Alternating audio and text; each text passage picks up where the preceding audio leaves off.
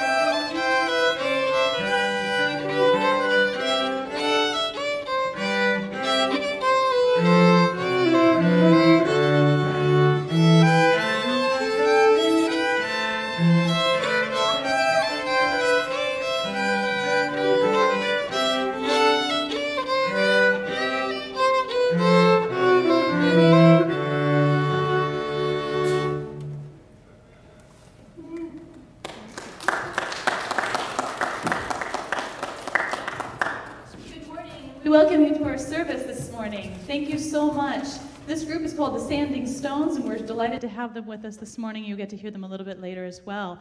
So thank you, Cindy, for bringing your friends along this morning so we can enjoy that.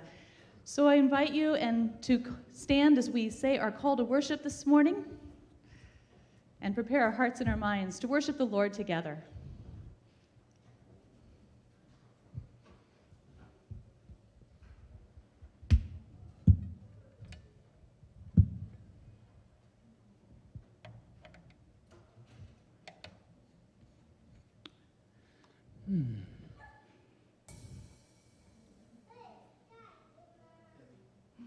Right, we're just waiting for these slides. We come to you, O God, to thank you for what is good. We come to you, O God, to cry out for what is wrong. We come to you, O God, to ask for help and restoration. We come to you, O God, with aching hearts and glad souls. Let us worship God.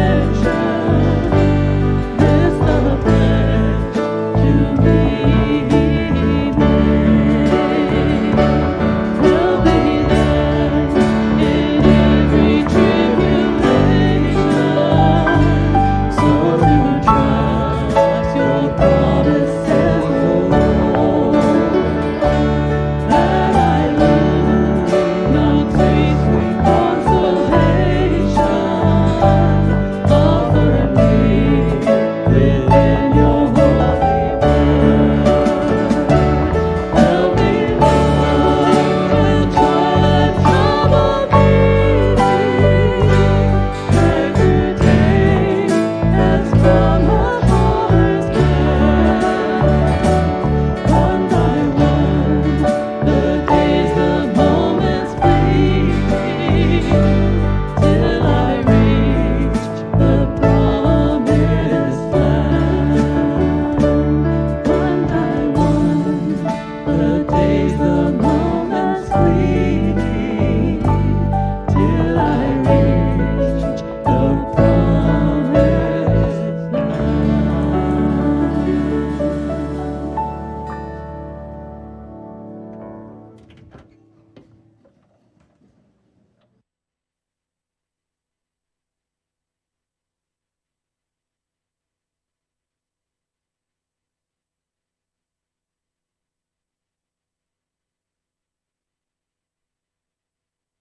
Jesus is our strength.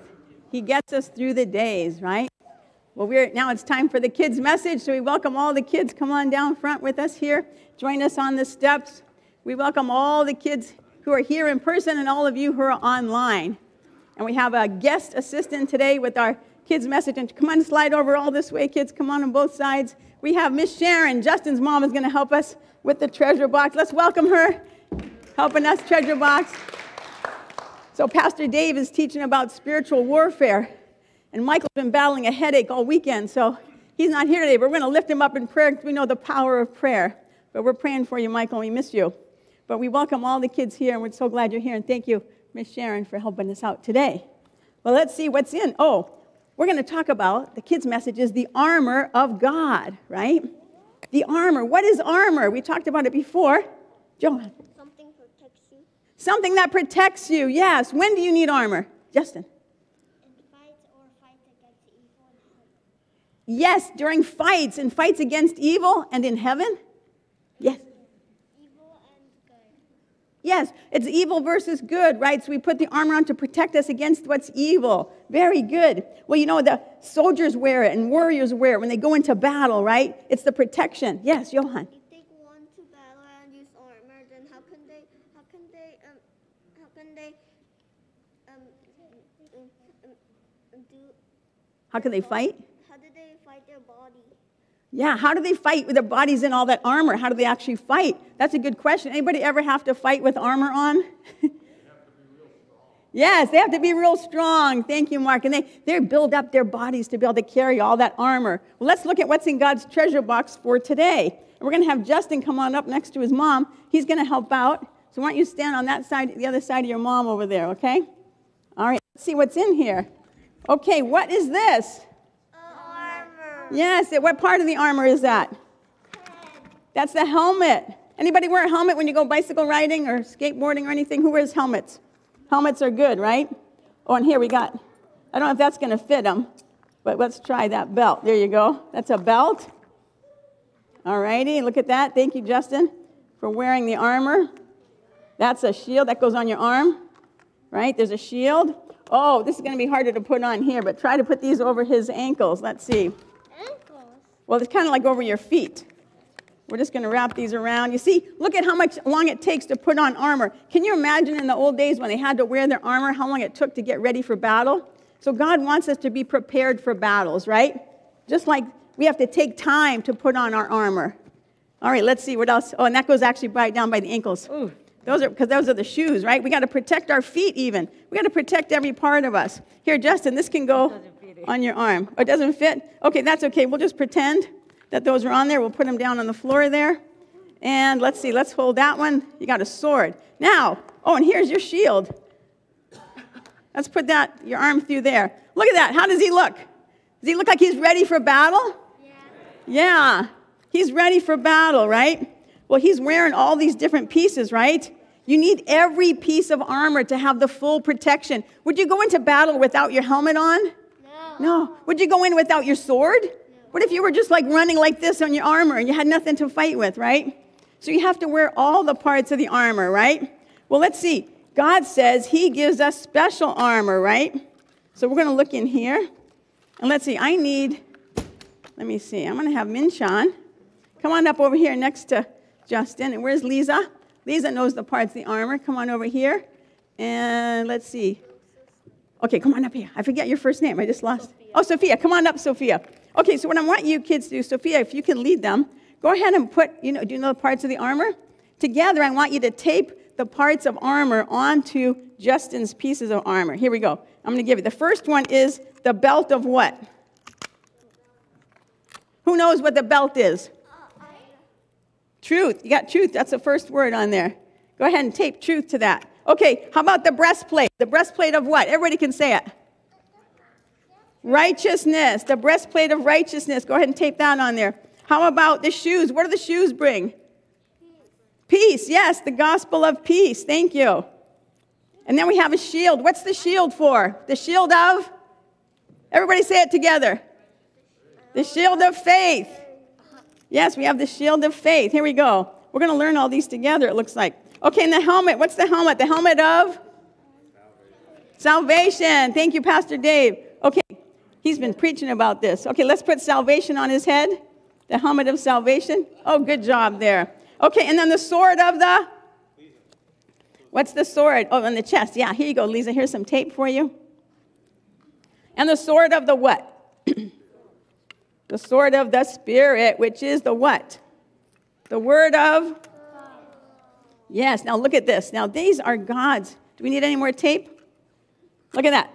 Wow, this looks wonderful. Okay, here's a couple more pieces. The sword uh, goes right. That's the word of God. Let's tape that to the sword. And the sword of the Spirit is the word of God. So you want to think about this, right? The belt of truth that holds everything together. God's truth holds all the pieces together. The breastplate of righteousness, right? It protects our hearts, right? We have to do what's right in God's eyes. We want to have that, wear that breastplate of righteousness. You got everything on? You need another piece of tape? Here's another tape for the Spirit. The sword of the Spirit. That can go on the other side of the sword. All righty, this looks great. The shoes of the gospel of peace, you know, our feet carry us where we go. So we, we want to bring peace wherever we go, right? And we want to bring the good news about Jesus wherever we go.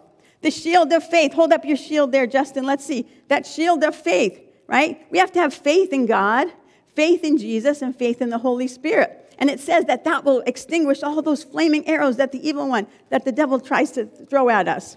The helmet of salvation. I remember one time I was praying, I asked God, why is the helmet, why is salvation the helmet? He said it protects our minds and how we think. We have to choose to follow God, right? Salvation is a choice that we all make, following Jesus. What else do we have? The sword of the Spirit is the Word of God. It is the most powerful thing, right? It teaches us what's right from wrong. Here, I'm going to pass this out.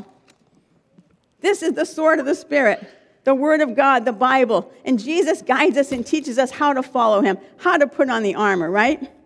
And that one more thing, there's one more piece of paper in there that doesn't have something. Can you hold that up? What's that say, Sophia?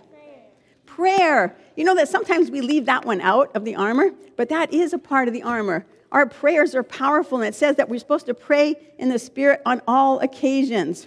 And one thing we want to remember is that we are never alone in battle because God is always with us and He's fighting the battles for us. Okay, understand now. What are the parts of the armor? We're going to go together. Ready? What's this? Helmet of? What's this? Belt of? Breastplate of? Shoes of the? Gospel of peace. Oh, sorry, this is the righteousness. Shoes of the gospel of peace. What's this? The shield of? Yes, and the sword of the? Right, the sword of the Spirit's a word of God. Yes, we're going to talk about all that later, but right now, I'm going to ask, um, let's see, I haven't asked yet, but maybe, Johan, can you come and pray for us, please? No. Come on. You want to pray? No, who, who wants to pray for us this morning? Okay, come on up. Yeah, yeah, come on, Johan, you can pray. Ready? Yeah, you can do it. Okay, ready? Nice and close. Dear God, you are the one truth, true God. You are all powerful and all loving. Nothing is possible impossible with you. Thank you for giving us your armor and for showing us how to fight the enemy's attacks. Thank you that you never leave us, and thank you for fighting the battles for us. God, help us stand firm, Firm. firm to be strong even when it's hard. To help us to put on every piece of your armor. Help us to do what's right in your eyes. Help us to believe in Jesus and help us to read the Bible every day. Help us to pray in the Spirit all the time. Show us how to love your more and how to tell love each other. Bring healing to your children to you are not feeling feeling well. Bless all of your children and your church here and around the world. In Jesus' name we pray, Amen. Amen. Great job. Thank you, Johan. And thank you, Justin and Miss Sharon, for helping us out with this lesson. Now, let's go talk about the armor of God, kids. Let's put, let's put.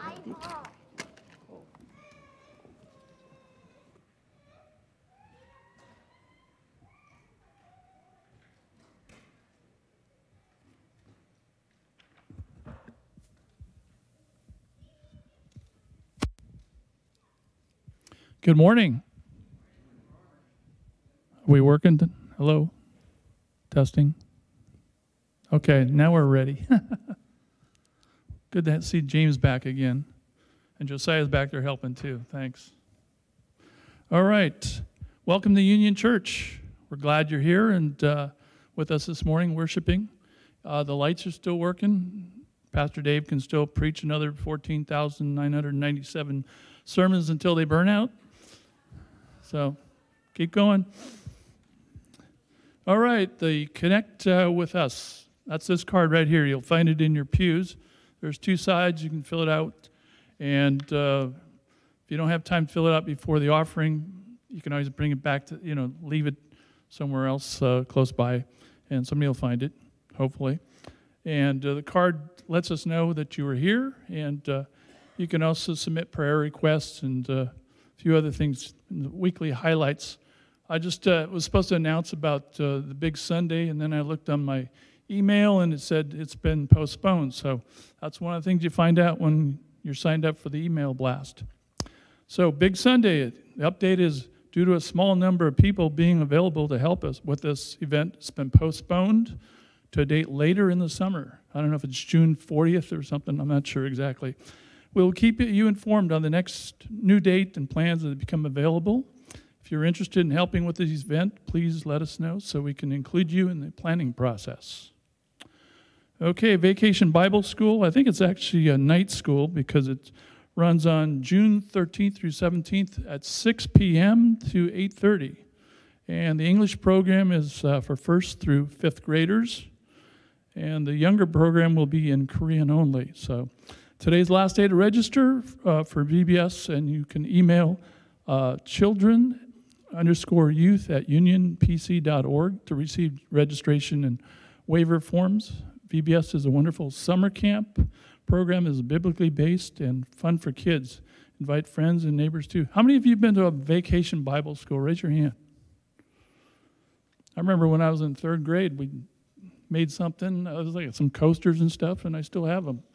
So it's, it's kind of cool. Nowadays, I think they do a lot of stuff in paper, but uh, back in the old days, they actually had some cool stuff. They probably still good stuff. Uh, okay, praise and prayer. Uh, you're invited to join Union Praise and Prayer Group. With so many things going on in the world, we want to stand together in faith and would love to have more people participate in intercessory prayer at our church. We meet weekly on Thursday from 11:30 a.m. to 12:30 p.m. That's only an hour. Currently meeting only on Zoom. To receive the Zoom details or to send in praise or prayer request, email prayer at unionpc.org. Let's pray together over our church, our community, our country, and our world. Okay, please join me in our uh, Bible memory verse. It's from Ephesians 2, verses 4 through 5. But God, who is rich in mercy, out of the great love with which He loved us, even when we were dead through our trespasses, made us alive together with Christ. By grace you have been saved. Okay, now it's time for our offering. Offering as part of our worship, we continue to give back to God out of the blessing He has given us. During the offering music, we invite the ushers to come forward to pass the plates, collect the offering, and connection cards. Hopefully, you had all filled out already. Other ways to give include mailing your check to the church, or you may give online at unionpc.org/give. And we're blessed to be able to give 22% of our general giving to support local and worldwide missionaries.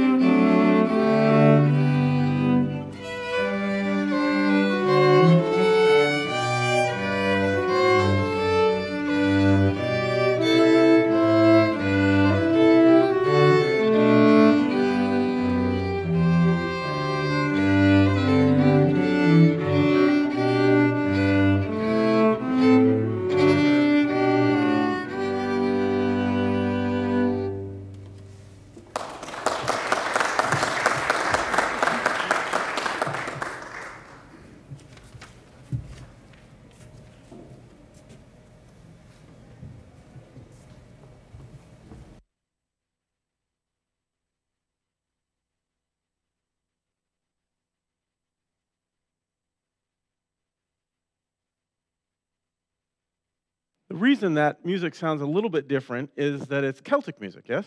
So, as opposed to being like Mozart or Brahms or something like that. So, that's why it sounds a little bit um, different than you might have been expecting. So, that's why. Um, let me pray for us. Lord, thank you for. Um, yeah, thank you for today, the gift of today, um, and the gift to be able to be a blessing to other people in this world.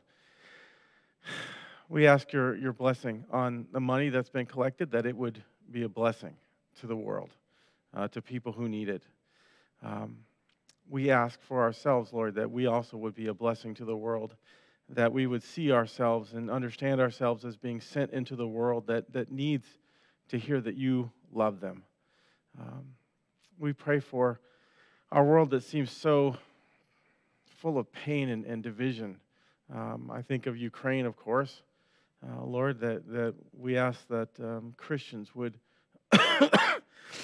make you known in that scary place right now, but also in, in our country where there are lots of shootings, some of them race related.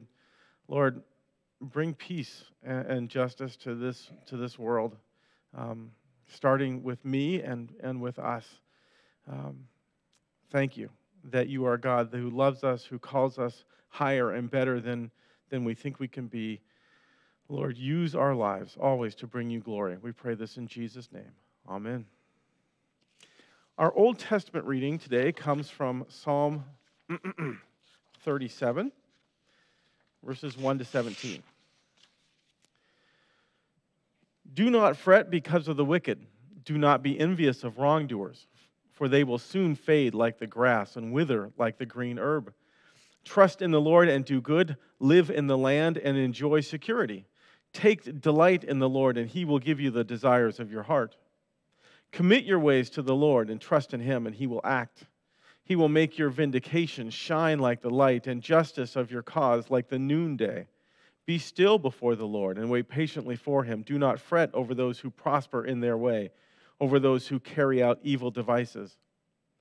Refrain from anger and forsake wrath. Do not fret, it leads only to evil. For the wicked shall be cut off, but those who wait for the Lord shall inherit the land. Yet a little while, and the wicked will be no more. Though you look diligently for their place, they will not be there.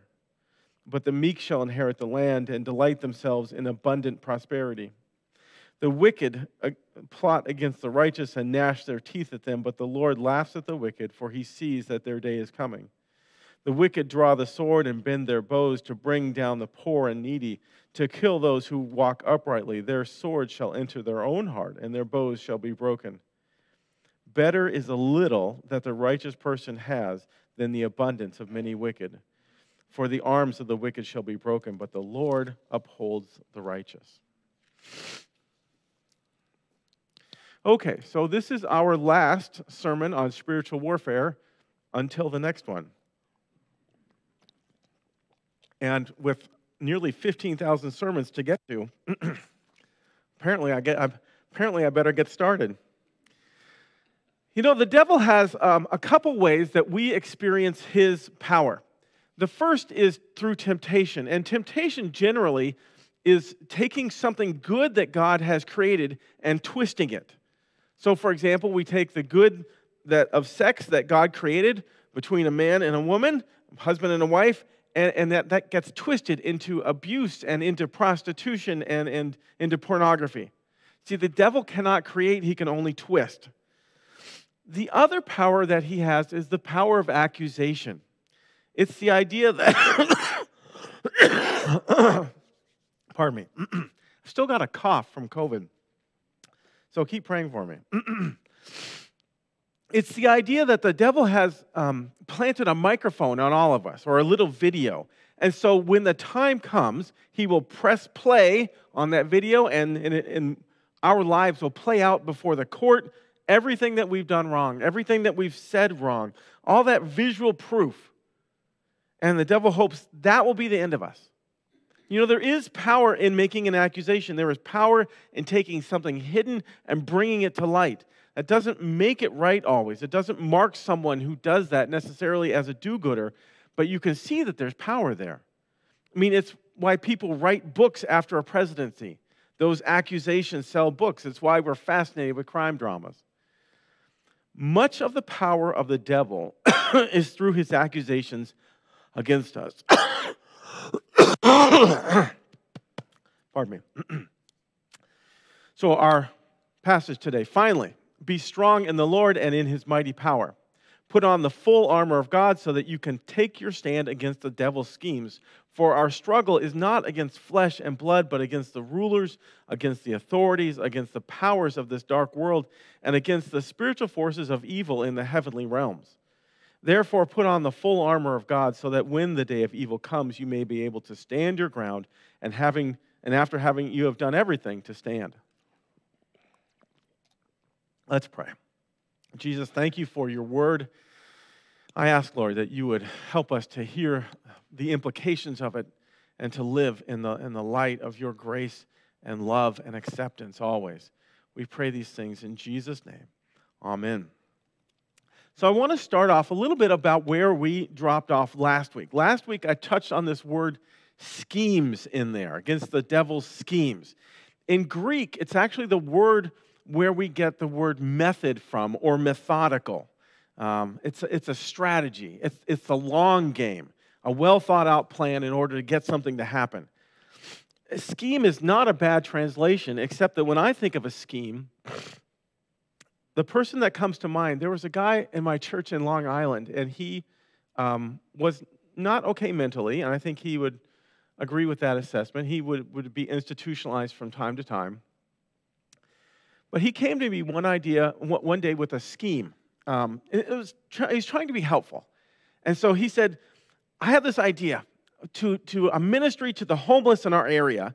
And what it is, is we can build igloos on the church property for the homeless out of meat. And so, whenever the homeless get hungry, they can shave off a little bit of the meat and fry it up, and, and they won't be hungry anymore. And I said, gosh, that really sounds like a ministry more to the dogs um, around here. Um, I, I said no relatively quickly to that idea. But that's, to me, what a scheme is it's a quick way to accomplish something, to make money, or to get a car. Uh, a scheme sounds like something that's either just barely legal or shouldn't be legal. That's not the idea in the text. The idea here is that the devil is laying traps for us. and has been for years. So I want us to be clear on who we're up against. The devil is a liar, he is a twister, and he always has been. I'm actually not worried about the occult. I know lots of people like horror movies and thinking about that kind of stuff, but there's really only been a, ever a small percentage of folks that, that thought that the, the devil will give them power in this life. And I'm just not into horror movies. I just don't think it's real. It's not something that we need to worry about. What we need to worry about more so is the lies that we have bought into about who we are and who God is and, and what our relationship should be like with God. See, I think the devil is much more subtle these days than, than perhaps he used to be.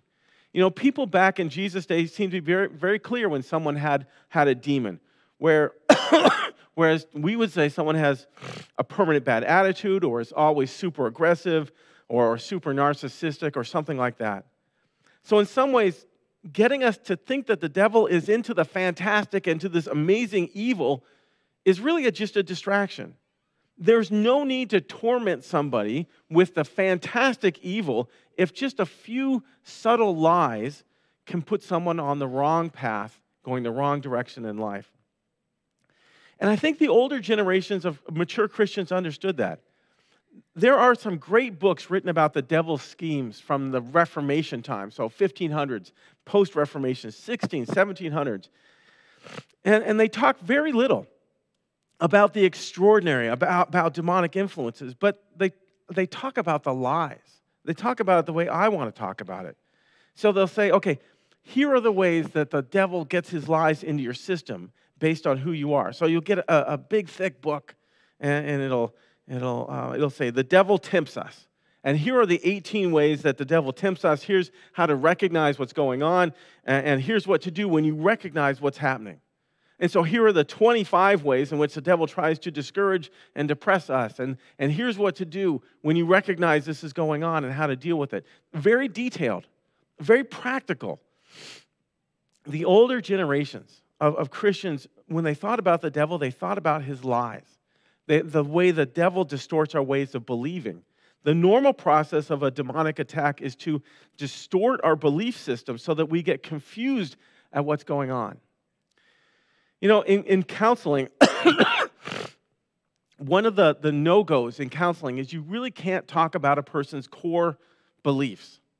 You have to avoid that.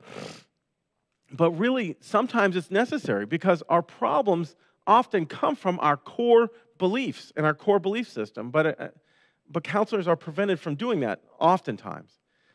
So let me give you an example. So a person is depressed because of an issue because of the way that they're looking at their life and what they believe about themselves. I'll give you an example. A person says to two different people, I know who you are, this is what you are, this is what you're like, and, and um, you're this and you're that.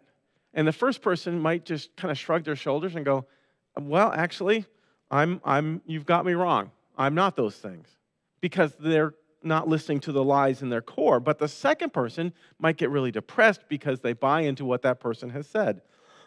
that they are this and they are that. they believe the lie that was told about them, and then there's this negative reaction of like depression. One of my core verses for this whole passage, this whole series has been 2 Timothy 2:25, where Paul gets at this. He says, "God grant that they may repent and know the truth and escape the snare of the devil." I mean, that to me is the key verse on how to deal with the devil. You have to know the truth and have it at the core of who you are, that we are God's child and He loves us. And that will protect us from a lot of harm over the long run. And then we repent and get a hold of the truth, and the truth will set us free. Here's the thing there are lies that the devil tries to plant deep in your soul. It could be words from our culture, or from our friends, or from our enemies, or from our parents, but they're stuck in our psyche, deep down there, waiting to cause us harm. Now, I don't know how much the devil knows about each one of us, but there are common lies that we buy into. And if they're spread widely enough, the devil can try his stick on, on a whole society. A percentage will believe that lie. And then we're off in a different direction. So Ephesians 4:27 says, "Don't let the sun go down on your anger. Don't give the devil that kind of a foothold." And because we haven't forgiven, then we get bitter because we believe what this person has really said about us or, or done against us and how this person has ruined our lives. But really, it's our fault because we gave the devil a foothold by not forgiving, and now that incident is being used against us. Or we can look at 1 Timothy 3 6 through 7. And he's talking here about bishops and the qualifications for bishops. So he said, Paul says to Timothy, he must not be a recent convert the, the bishop, or he may be puffed up with conceit and fall into condemnation of the devil. Moreover, he must be well thought of by outsiders so that he may not fall into disgrace and the snare of the devil. So, that then is the example of pride as opposed to for- forgiveness. See, our false beliefs about ourselves are, are potential footholds for the devil. I mean, what do you do? You repent and you see the truth and you move forward. And you say, Why am I so bitter against this person? What's going on here? We have to see the truth that we believe so, that person has taken something from us, besmirched us in somehow, somehow and, and they've taken something from us that we need in order to survive and be happy. My friend says it's like there's a piano in our heads. And every so often, there's an invisible guy who sneaks in and starts playing it. And then all these thoughts start bubbling up. We get indignant as as to what's happened to us in the past. We get bitter, and then what? Well, we have to repent and we have to see the truth and get, we have to get rid of the piano. Forgiveness is one of those things that gets rid of the piano. So is getting rid of your pride. So the first set of lies I want to talk about are accusation. The devil tempts and then he accuses. And they're complementary lies, the, the, the temptations and the accusations. So the temptation is for us to take sin too lightly. To, I don't know if you've ever heard when you're thinking about doing something, you hear this voice go, ah, it's not so bad. Everybody does it. You can repent later. It's not a big deal. And so those are the lies that get us into temptation, taking sin too lightly, and it's complemented later by accusation, which is taking sin too seriously. So here's how it looks you're tempted to do something, right? Or say something, and you hear, it's not that bad. Everyone's doing it. You can repent later. People say that stuff all the time. You can get, it's easier to, to get forgiveness than permission. Um, you know, and that's going into the sin. And then you do the sin and you're coming out of it and you get hit with the accusations. Who would forgive you after you did that? After you said that? Your life is over. You call yourself a follower of Jesus and you did that? Wow. Just wow. I mean, these two work together like a, a two punch combo in boxing. You know, it's, it's often your, your offhand. I'm, I'm right handed. So you set up the right hand with, with the left hand, right? So the left hand is the little jab. That's the temptation. And then you pop and then get smacked with the accusation. That's the big one. Satan tries to get us into sinful situations in order to keep us from experiencing God's grace. He wants us to forget or perhaps never understand that we are accepted by Christ, we are righteous in Him no matter what. But we have a tendency to forget that when we're in sin. So then let's talk about accusation. Satan, the word Satan actually means accuser or prosecutor. Here's the thing you're not supposed to just be loved, forgiven, and accepted by God. You're supposed to know that as well. You're supposed to live in it. So let me ask you a question. There's a, a poor person who has $10 million dropped without them knowing it into their bank account, probably from a Nigerian prince, right? Are they wealthy or are they not wealthy? Well, that's debatable, right? They're, they're rich legally, but not practically because they don't know it's there and they never use the money. In a similar way, it's one thing for a follower of Jesus to be saved, accepted by God, and loved by God completely. But it's two different things. It's, it's one place to be in that there legally, and it's another complete different thing to be living out of that grace and that love, to be writing checks, as it were, on the money that's in the bank. So if we really are forgiven, one of the results is that we're fearless. That Christians shouldn't be afraid of death or anything up to death, which would actually be a good thing for followers of Jesus as we're heaven bound. So that's one thing, we're fearless. The second thing is that it means Christians can handle any criticism. You are held in the highest esteem. You are loved deeply and fully by the only person whose opinion really matters God. Well meant criticism or ill meant criticism should not disturb our core confidence in who we are in God. We should be able to say to others that who are trying to puff up our self-esteem or, or, or prick it, or those other things in life that we use to puff up our pride or, or other people use to prick it, and just say to those things, You are not my peace. God is my peace. My life is hidden in God. I know what God thinks of me, and He's very fond of me. The third thing is this if we're drawing on this $10 million that's in the bank, we're going to be bold in prayer. God has told us to ask in prayer, and, He'll give us whatever we ask for or something better. I mean, that's the basic idea of prayer. If we belong to Jesus and we ask for something in Jesus' name because He loves us and cares for us, He'll give us what we ask for or something better. So we are confident in God.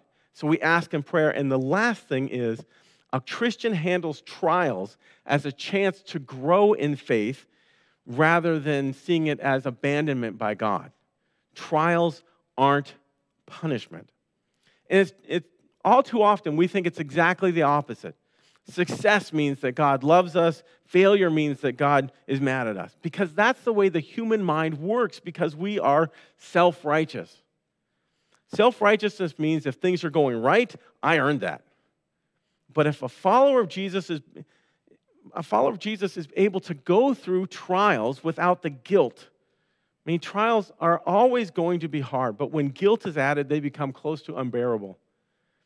A Christian going through the same sort of trials is confused. They ask, Why is this happening to me? What have I done to deserve this? And anytime we ask that, we can look at our lives and find something, right?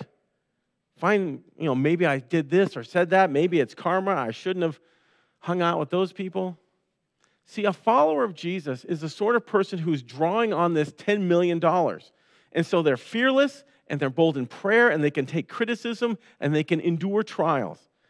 But if Satan can attack our conscience, then we're going to leave the $10 million alone.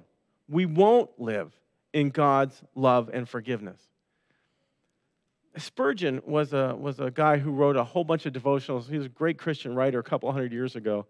And he was asked the question listen, can, can a Christian lose their salvation? And he said, no, but think of it this way. If salvation is a boat headed up to heaven, you can't fall out of the boat. But what you can do is fall on the boat and break some bones and spend most of the trip in the infirmary. You're on the cruise, but you're not enjoying it. You've got $10 million in the bank, but you're not ever using it. The devil cannot touch the money in the bank. He, can, he can't touch the fact that you're forgiven, that you're accepted, that you're loved by God. He can't touch that. What he can do is lie to you and fool you into not using it. And the way he does that is through accusation. It's an attack on the conscience using either real or false standards of righteousness. My friend gave me an example of this. Um, he knew an older gentleman who finally came to Christ after decades of really hard living. And the man experienced great joy in coming to faith and, and repenting. And that first night, for some reason, he remembered something that he had said 30 years ago when in a bar under the influence of alcohol that was blasphemous. He said he didn't believe in Christ, and if, and, and if Christ existed, well, he could go to hell himself. He hadn't thought of that uh, for 30 years, hadn't even crossed his mind. And then all of a sudden, it's going through his mind like it's, it's on TV. And he ends up at the pastor's house at 3 in the morning asking, How could somebody who has said those things be accepted by God? And it's not only the things we've done, but your regrets can also be fiery darts. That we live with what we've done when we were proud or when we were stubborn, and we live with the results of those mistakes. Sometimes it hits us. You know, I could have been this or I could have been that, could have done that if it wasn't for the mistakes I'd made years ago. And if you hear that voice, you don't need an exorcism, you need a defense attorney. See, there's a prosecutor saying to you in your head that says, if you were really forgiven, you wouldn't still be suffering from the mistakes you made when you took the wrong job, when you married the wrong person. This voice is often why we find ourselves down. We need a defense attorney with a Bible reminding us listen, there is now no condemnation in Christ Jesus. If I'm still living with the result of a sin, it isn't punishment, it's an opportunity to grow there are lots of examples of people who lived with their sin and, and grew in it in God. My, my example is always my namesake, King, King David with Bathsheba. God forgave him, and, and David grew. It wasn't easy. He didn't like the punishment that he received, but he learned how to live in that forgiveness. And that's for us too. I mean, if the, the effects of the previous sin are still in your life, they're meant to shape you and they're meant to be part of your journey with God, doing what we need to do, leading us to people that we need to bless. The other thing is if you're regretting your sins, if you're thinking about them all the time, you're just poring over them, then you aren't thinking about how God has blessed you in Christ and set you free. In a way, then you're still trapped by your past sins. Now, we do hopefully make progress in our sinfulness, sinning less over time. That's sanctification. But then a voice comes and says to, to you and to me, Really, you aren't any different than you used to be. You should give up. A real Christian wouldn't struggle with this, wouldn't, wouldn't do these kinds of things. And in response, we need to go back to Scripture. See, Satan sets up this standard of righteousness and then rubs our face in it, tries, us to get to, tries to get us thinking about our sin more than our Savior. And God does convict us of our sin the Spirit does, but He shows us by, but He does it by showing us how much we're loved by God. And so this, the way the Holy Spirit convicts you of your sin when you're a Christian is listen, God, God loved you so much, he, he went on the cross. So is it really okay for you to keep doing this or keep saying this or keep treating this person in that way? Satan says God will reject you, but the Holy Spirit never says that. The Holy Spirit reminds us that we are accepted. The accusation of the devil questions your acceptance, questions your grace, questions your status as a child of God. We reject that with the truth. A second kind of accusation is he takes a standard, perhaps from childhood or deep in your family, that in order to be a good person, an accepted person, you have to live up to this standard. And I was thinking about this idea. Do you guys remember um, Forrest Gump? A little bit?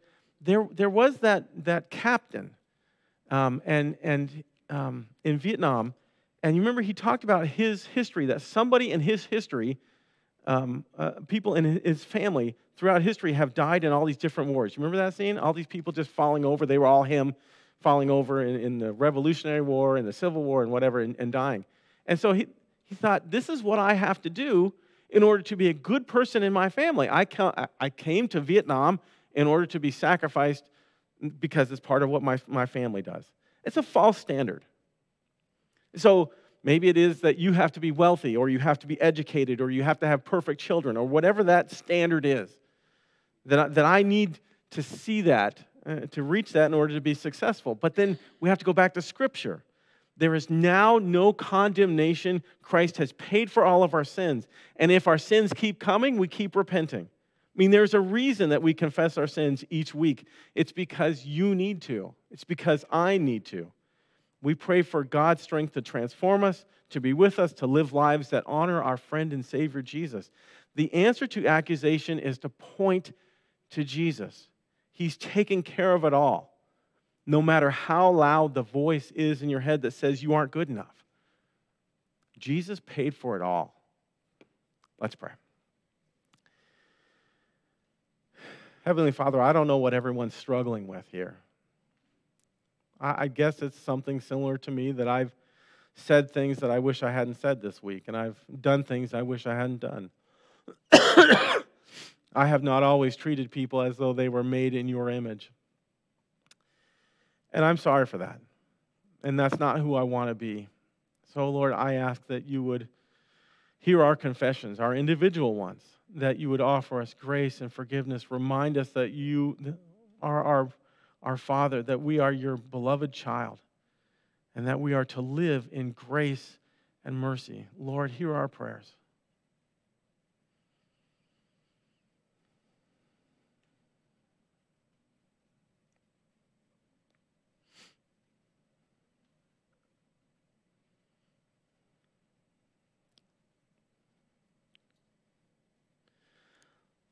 So, Lord, for the things that we have, pardon me, Lord, for the things that we have done this week that do not reflect your grace and your love, your forgiveness, but instead reflect pride and, and selfishness and unforgiveness, we are sorry. That's not who we want to be. Transform us to, more, to look more and more like who you are and the person you created us to be. Lord, we repent and ask that you would do the hard work of getting the truth put into the core of who we are instead of the lies. We thank you for the Spirit that helps us do that. We thank you for your grace and your forgiveness always, and ask that the Spirit would continue to transform us to be more and more like you. We pray all these things in Jesus' name. Amen. The good news of the gospel is that we are forgiven and we are graced, and God is good, and He does forgive you. You are accepted, you are loved, you are God's kid, no matter what you've done in the past. And that's good news. Amen? This week I was challenged and reminded to stop negative thoughts in their tracks and turn it around into a praise and lifting that praise to God. And that's what this song is all about that we fight our battles by praising the Lord in times of trouble, in times of doubt, times of fear, or just if those negative thoughts come into your mind, stop them in their tracks and turn it around, lift the Lord up, say a praise or two, and give glory to God. So let's stand. We're going to sing together, surrounded how we fight our battles.